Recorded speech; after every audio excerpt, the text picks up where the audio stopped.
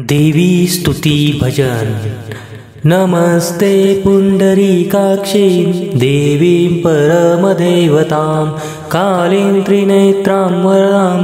शाम्भवीं शाङ्करीं शिवां भक्तिप्रियां भक्तिरूपां भवानीं भववल्लभां भैरवीं भीमवदनां भीमां भीमाननां शुभां वैष्णवीं विष्णुरूपां च विष्णुकार्यकरीं क्रियां संहारकारिणीं सृष्टिकारिणीं स्थितिकारिणीं कपर्दिनीं करालाक्षीं चन्द्रशोभितमस्तकां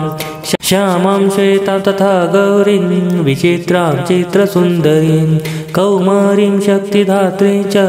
देवानां शक्तिरूपिणीं चतुर्भुजां च द्विभुजान् षड्भुजाष्टभुजां तथा देवीं दशभुजां कालीं बहुषोडशसंयुताम् अष्टादशभुजां कालस्वरूपां लक्षनेत्रिणीं सहस्रचरणां कोटिच्छविं निष्फलरूपिणीं स्थूलां शुद्धां च सूक्ष्मां च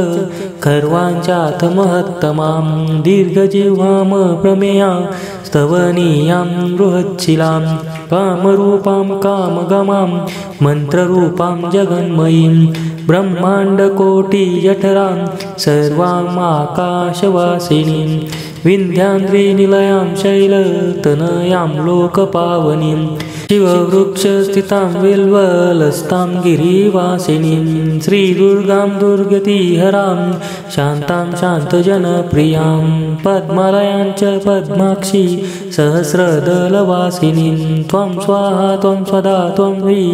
त्वं बुद्धिस्त्रिविधा प्रसुः त्वं नमस्यामहे देवीं दारिद्र्यहृदयां शिवां श्रीरूपां परमानन्दरूपां ब्रह्मसनातनीं नमामः प्रणमामस्त्वं सन्नामाम सुभक्तितः